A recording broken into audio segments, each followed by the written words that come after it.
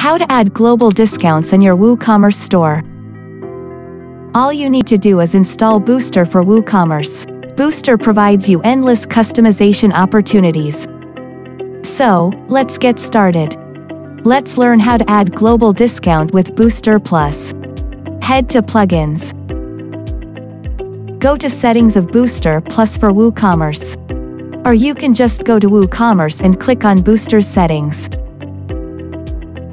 Next click on Prices and Currencies. Booster prices and currencies make it easy for customers around the globe to make purchases on your site by displaying their currency.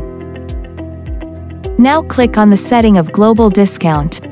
Booster's Global Discount module allows you to add global discount to all products. Remember to always check the Enable module. Coming up next is Total Groups, enter the number of discount groups you want on your website. Now check enable the discount group you want. Next is the type, enter the type of discount you want on your website. You can define a discount by multiple channels, it can be a fixed amount or percentage. Next is the final correction. This option allows you to round off the values after the discount. There are some other options as well apply them according to your needs. There are some product filtrations as well.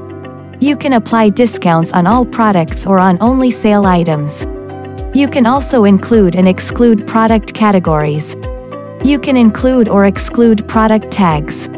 Or if you can add a discount on a specific product, you can do it by excluding or including products. We have some advanced customization options coming up. You can check them out if you want this customization on your website. Now click on Save Changes.